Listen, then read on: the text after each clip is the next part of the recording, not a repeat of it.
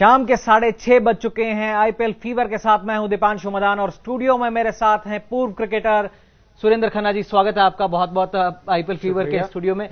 तमाम पहलू पर चर्चा करेंगे। आज दो मैचेस होने वाले हैं। एक मैच हो रहा है बहुत ही कांटे की टक्कर चल रही है सनराइजर्स हैदराबाद और दिल्ली डेयर डेविल्स के बीच। एक शाम में मैच होना है। कल जो मैच हुआ उस पर तमाम पहलुओं पर चर्चा करेंगे एनालिसिस करेंगे या फिर यूँ कहें कि पोस्टमार्टम करेंगे पूरा रिपोर्ट का। तो चलिए शुरुआत करते हैं आज के इस खास कार्यक्रम की।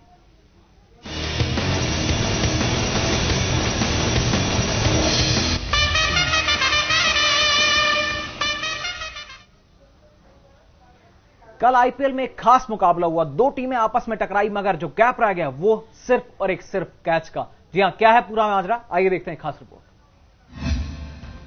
आईपीएल सीज़न सात का ग्यारहवा मैच। देखने को मिली कांटे की टक्कर। एक कैच ने केकेआर को जिताया मैच। शारजहां के ऐतिहासिक मैदान पर कल एक कांटे का मैच हुआ, जिसमें रॉयल चैलेंजर्स के कप्तान कोहली ने टॉस जीतकर पहले गेंदबाजी का फैसला किया। शुरुआत भी कोहली की टीम के अनुरूप रही। केकेआर के कप्तान गंभीर लगातार तीसरी बार बिना खाता खोले ही पवेलियन लौट गए। तीसरा लगातार शून्य। पांडे भी कुछ कमाल नहीं दिखा पाए और केकेआर के लिए टेंशन का माहौल बन गया। हल्की सी स्विंग कितनी बढ़िया पर खेलने की कोशिश। लेकिन इसके बाद आईपीएल सेवन का पहला मैच खेल रहे लिन ने जैक कैलिस के साथ मिलकर तीसरे विकेट के लिए अस्सी रन की साझेदारी करके केकेआर को शुरुआती झटकों से उबारा।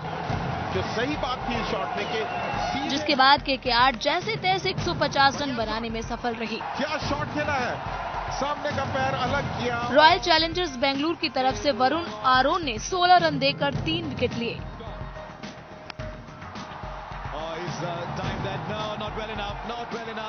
जवाब में बेंगलुरु की तरफ़ से क्रिस गेल लगातार तीसरे मैच में नहीं खेल पाए।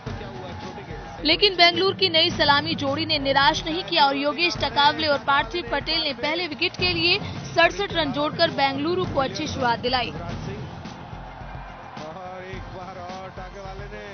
इसके बाद कप्तान विराट कोहली और युवराज सिंह ने 55 रन की साझेदारी की, जिससे टीम की जीत आसान लग रही थी। और इस बार भी शायद बाउंड्री मिले। लेकिन क्रिकेट अनिश्चितताओं का खेल है और जब लगने लगा कि मैच एक तरफा हो चुका है, तभी मैच का रुख पलटा। बेंगलुरु को जीत के लिए आखिरी ओवर में नौ रन बनाने थे। गेंद विनय कुमार के हाथ में थी।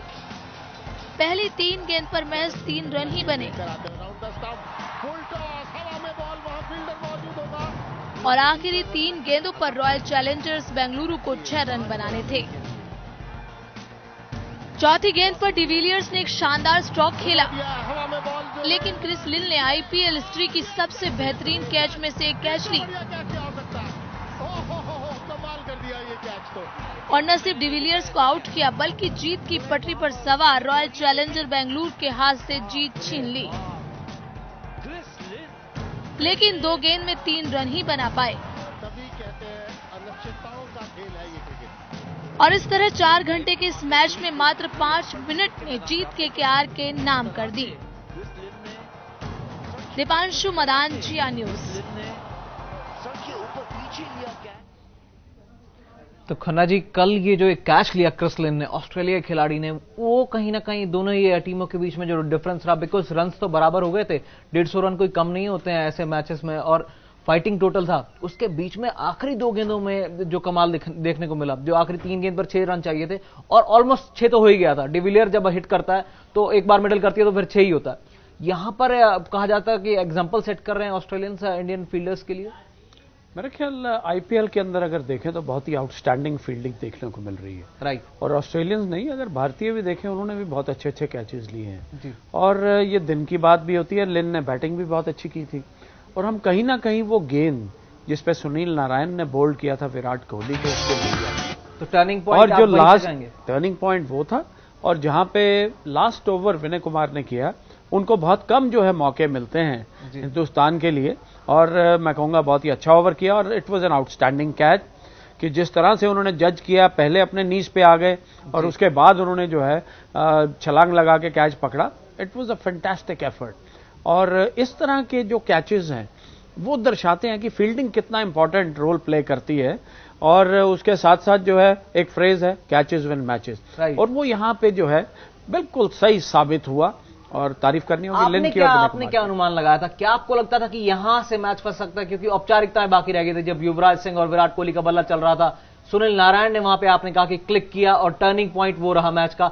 अंत में जब डिविलियर्स जैसा धाकड़ बल्लेबाज सामने हो छह रन बनाने हो तीन गेंदे बाकी आप किस पर जाएँगे?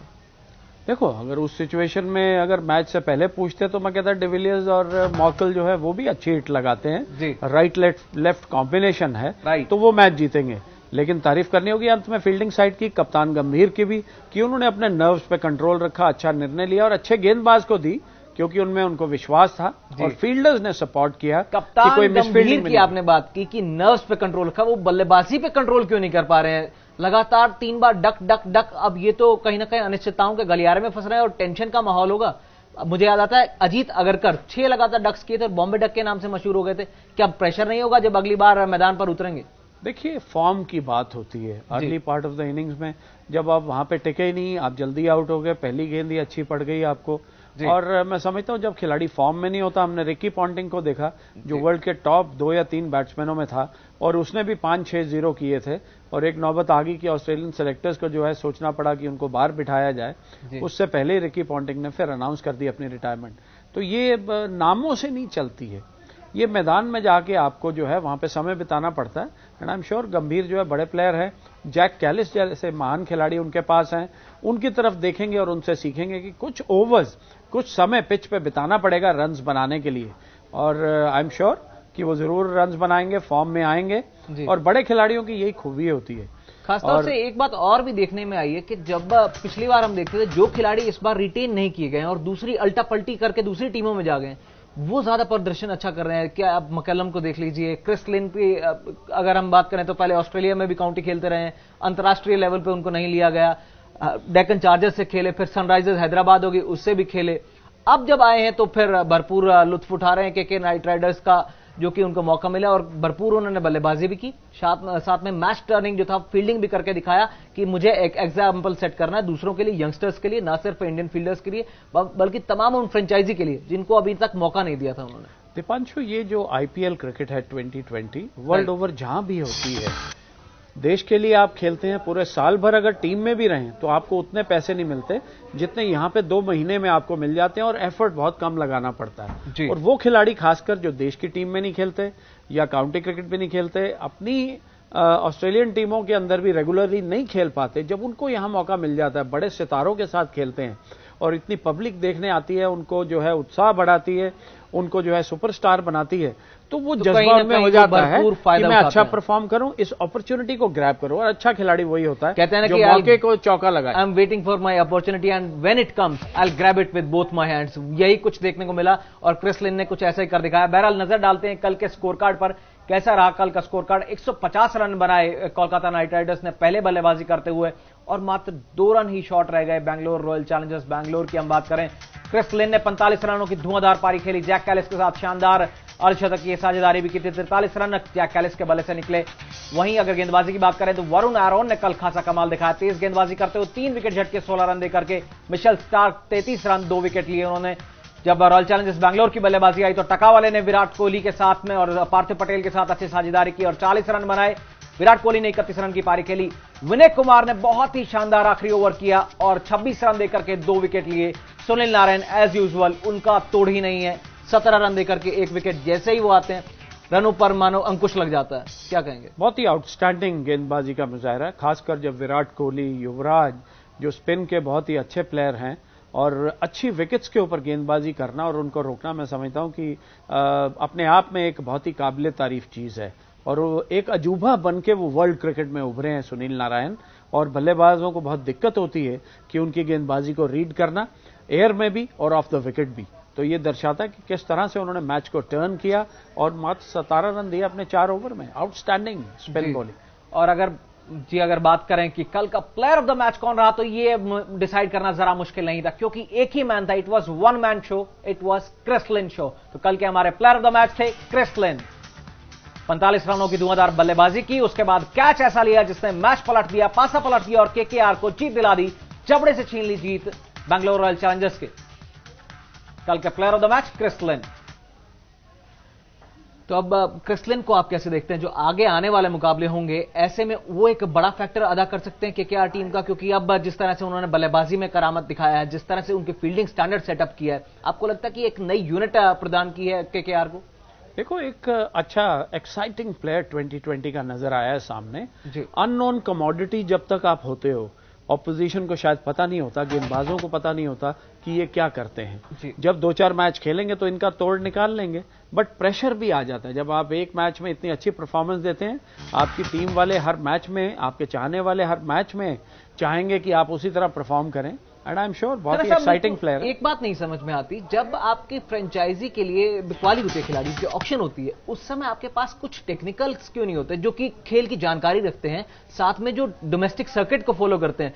जैसे कि अगर क्रिसलन की बात करें तो मुझे याद आता है कि कंदुरता मरून श्रीलंका की एक टीम है जब एसपीएल हुआ था श्रीलंका प्रीमियर लीग उसमें भी ये खिलाड़ी खेला था और लाजवाब प्रदर्शन किया था। इस खिलाड़ी ने धुआंधार बल्लेबाजी की थी और मुझे याद आता है एक मैच में सत्ताईस रन पर जब चिप्स वर डाउन तीन आउट हो गए थे, ये बल्लेबाजी करने आए और वहाँ से 170 कर दिया और वहाँ से जीत करके मैच गए। तो इस तरह के खिलाड़ी क्यों आकर्षक नहीं इनका आकर्षण केंद्र का नहीं बनते जो टेक्निकल एनालिस्ट आपके साथ होते हैं? क्या आपको एक दो एनालिस्ट ऐसे नहीं लेने चाहिए, जो टीम को लगातार हम डोमेस्टिक सर्किट की बात करें तो उनको वॉच करते रहे ताकि वहाँ की जो कहीं ना कहीं टैलेंटेड बंच ऑफ़ प्लेयर्स है, वो इन टीमों को फ़ायदा कर सके?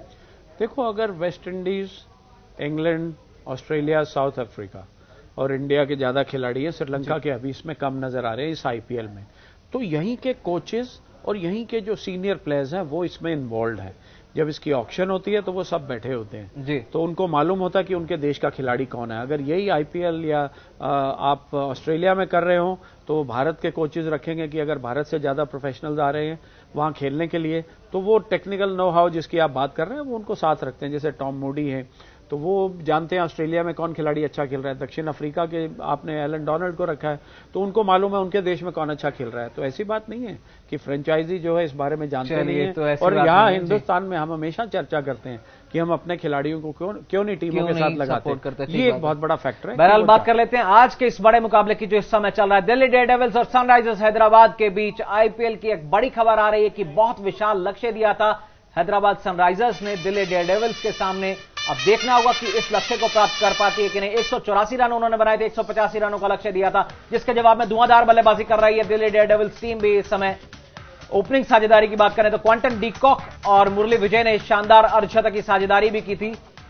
109 पर दो अभी लेटेस्ट स्कोर है दिल्ली का तो ऐसे में देखना होगा कि क्या इस मैच को जीत पाते हैं। तेरह ओवर के आसपास हो चुके हैं। 109 रन, दो विकेट के नुकसान पर, बहुत बड़ी टक्कर चल रही है। फिंच और वार्नर ने ताबड़तोड़ पारी खेली थी। सनराइजर्स हैदराबाद की बात करें। अर्धशतक की साझेदारी भी हुई थी दिल्ली की। अगर ओपनिंग साझेदारी की बात करें, मुरली विजय ने करामाती पारी खेली और साथ में क्वांटन डिकॉक ने अच्छी शुरुआत देते हुए दिल्ली की नैया को पार लगाने की एक शुरुआत की थी। अब देखना होगा कि यहाँ से क्या कुछ दिल्ली रेड डेविल्स की टीम कर पाती है और क्या एक का बड़ा लक्ष्य प्राप्त कर पाती है। नहीं, खन्ना साहब, जिस तरह से टीम प्रदर्शन कर रही है, आपको क्या लगता है मैच किस तरफ़ जा रहा है? देखो विकेट शानदार है।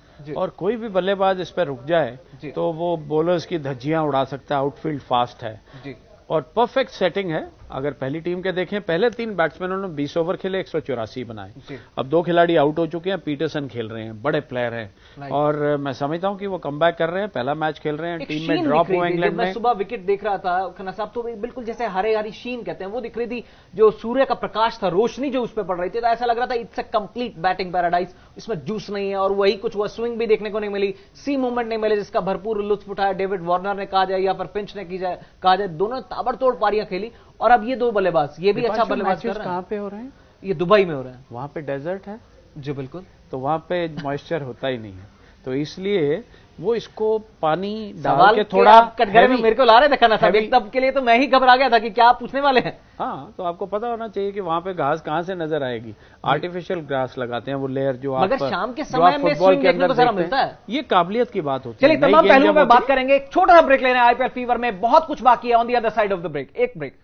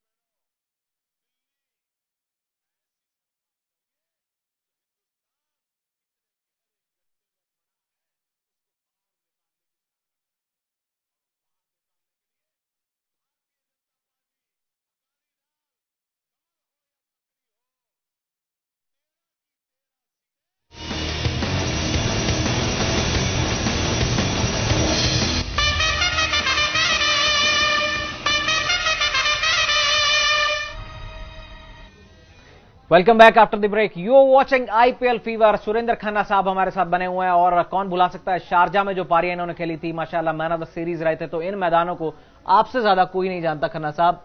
अब रात में बड़ी मैच होने वाली नज़र नहीं आती। जब मैं खेला था तो ग्रीन टॉप थे। तो कहने का मतलब कि मुश्किल और ज़्यादा होती थी। बनस्पत की आज आसान विकेट्स होती हैं जैसे कि धुआंधार बल्लेबाजी चल रही है।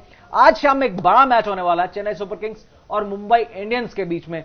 कैसे लेते हैं आप इस टक्कर को? कैसे आंकते हैं? एक डिफेंडिंग चैंपियंस हैं एक पहले दफ़ा चैंपियंस रहे हुए हैं तो उन दोनों की टकराव को कैसे देखते हैं? एक तरफ़ महेंद्र सिंह धोनी है दूसरी तरफ़ रोहित शर्मा है। देखो ये जो दो टीमें अभी शुरू करेंगी इनसे पहले जो मैच चल रहा है जिस तरह से बल्लेबाजी का मैच हो रहा है मुझे लगता है कि इसके अंदर गेंदबाजी भी जो है अपना रोल अदा करेगी। जो शाम में वाले हाँ शाम वाले मैच में। वहाँ पे जैसे जैसे डोमिनेशन पहले मैच में जो है बल्लेबाज कर रहे हैं कि चेज करते हुए डीकॉक और विजय ने बहुत अच्छी शुरुआत की अब कार्तिक और पीटरसन। करें मुंबई के और यहाँ पे अगर देखें। तो यहाँ पे आपको जो नज़र आ रहे हैं सामने राइट पे अपने मलिंगा ये गेम चेंजर होंगे मुंबई के लिए। पाँच बड़े खिलाड़ी Rohit Sharma Michael Hussey Corey Anderson Kieron Pollard और लसित मलिंगा। आपका दाव मलिंगा पर पहले ही पड़ चुका है। बाकी चार खिलाड़ियों के लिए क्या कहना चाहेंगे? Rohit Sharma Michael Hussey Corey Anderson है और कैरन पोलार्ड है। बड़े हिटर्स हैं बोल के। मैं कहूँगा ये तीन जो है बीच में रोहित शर्मा और मलिंगा जो हैं उन पे मेरा काफ़ी तवज्जो रहेगी। वो तीन को फायर करना है उनके नाम बड़े हैं और दर्शन छोटे हैं। जी। और इन कंडीशंस में जहाँ पे पिचेस में गेंदबाजों को मदद ज़्यादा नहीं मिल रही है जी। और अगर आप लोअर डाउन आते हैं जैसे पोलार्ड पहली गेंद से छक्का मारना होता है आपकी रेपुटेशन बहुत है तो एक्सपेक्टेशन भी बहुत बड़ी आपको होती नहीं लगता कि तो ज़्यादा बहुत नीचे challenging हैं? है। आपको नहीं लगता नीचे लेकर के आ रहे हैं पोलार्ड को? थोड़ा ऊँचा लेकर के आना चाहिए चार या पाँच पे खिलाना चाहिए क्योंकि आपके पास एक बहुत बड़े स्ट्राइकर हैं। आप उनको जब छह या सात पे ले आते हैं तो गेंदे कम रहती हैं तो ऐसे में खेल नहीं पाते हैं वो। मेरे ख्याल ये एक स्ट्रैटेजी होती है। जी। पोलार्ड में वो काबिलियत है कि वो छह गेंदों में छह छक्के भी लगा सकता है। इसलिए वैसा खिलाड़ी वो वहाँ पे रखते हैं कि अगर कोई लास्ट ओवर अच्छा कर रहा है डेथ पे अच्छा बॉलर है ऑपोजिशन में तो वो उसको नीचे रखते हैं कि वो नीचे जाके भी मार सकते हैं। बट मेरे ख्याल से फ्लेक्सिबल होना चाहिए। कप्तान को और कोच को आप अच्छी सिचुएशन में हैं तो उनको प्रमोट करो और वो और अच्छी पारी खेलें आपका रन रेट और बढ़ा देंगे। आपकी स्क्रीन के सामने चेन्नई के पाँच धुआंधार match winners Brendon McCullum Dwayne Smith Faf du Plessis M S Dhoni और बेन हिल्पन हाउस इन पर रहेगा कहीं ना कहीं इन पाँचों में दारोमदार। रहेगा। पाँचों में दारोमदार रहेगा। तो व्हाट इट मींस कि आप चेन्नई सुपर किंग्स की लेकिन मैं जाऊँगा मुंबई की तरफ़ मैं जाऊँगा मुंबई की तरफ़ क्योंकि धोनी पे दबाव है। उनके जो अडॉप्टेड फादर है उनके ऊपर काफ़ी दबाव बना हुआ है श्रीनिवासन साहब पे। तो मैं जाऊँगा जो है मुंबई इंडियंस के देखते हैं प्रिडिक्शन ऑफ़ द डे की तब बात करेंगे। बहरहाल ब्रेंडन मैकलम ड्वेन स्मिथ की आप ओपनिंग साझेदारी की बात करें तो और कैसे लेते इनका वो लिफाफा भी जो है सुप्रीम कोर्ट में है। जी। तो इन पे काफ़ी जो है दबाव है।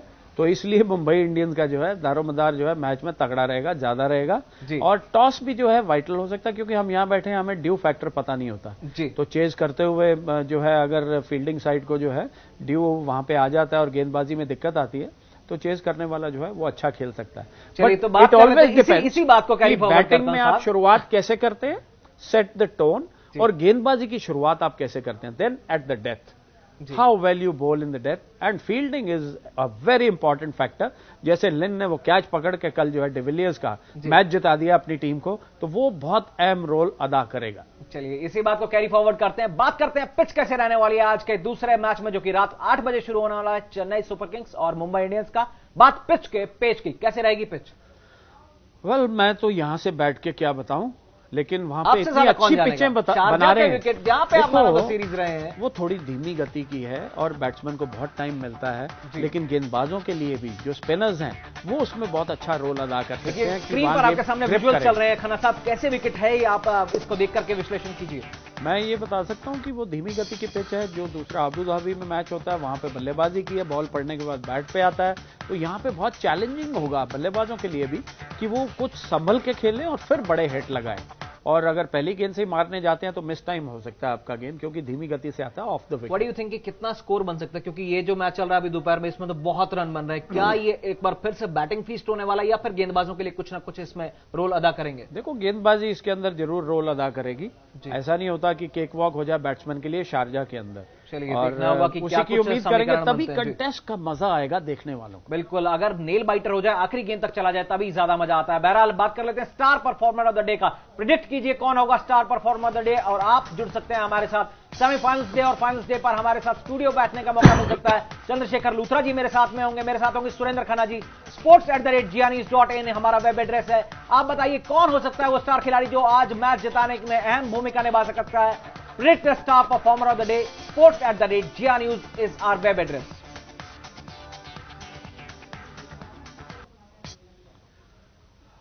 तो खन्ना साहब समय की बहुत कमी है। प्रिडिक्शन ऑफ़ द डे का समय हो चुका है। कौन सी टीम होगी जिसके साथ आप जाना चाहेंगे? मैं मुंबई इंडियंस के साथ जाना चाहूँगा क्योंकि उनके पास जो मिक्सचर है गेंदबाजी और बल्लेबाजी का बहुत शानदार है। और रोहित शर्मा बहुत ही बढ़िया प्लेयर है। और वो नेतृत्व जो दे रहे हैं मुंबई इंडियंस को बहुत अच्छा कर रहे हैं। और मैं उम्मीद करूँगा कि मलिंगा जो है उनके पास वो ट्रंप कार्ड होंगे। गेंदबाजों की बात करें तो दोनों ही टीमों के गेंदबाजों में मलिंगा एक तरफ़ है दूसरी तरफ़ बेन हिल्पन हाउस भी है। जितने भी हों क्योंकि ये आउटस्टैंडिंग प्लेयर्स हैं आईपीएल के अंदर हर टीम के अंदर काबिलियत बहुत है। लेकिन जैसा तो कहता है कि एक टीम आपको पिक करनी है तो आज दिल कर रहा है कि आप मुंबई इंडियंस के साथ जाना चाहेंगे। मैं चेन्नई सुपर किंग्स के साथ जाना चाहूँगा। देखते हैं क्या कहाँ से है? मुंबई से। वेंगसाकर कहाँ से? मुंबई से। गावस्कर समय की बहुत कमी देखना होगा कि कल कौन इस मैच में हम आज जो मैच जीतेगा उस पर कल विश्लेषण करेंगे। देखना होगा कि कौन सी टीम जीतती है कौन सी टीम हारती है कौन बाजी मार ले जाता है। बहरहाल आईपीएल फीवर में समय इतना ही है। दीजिए इजाज़त नमस्कार।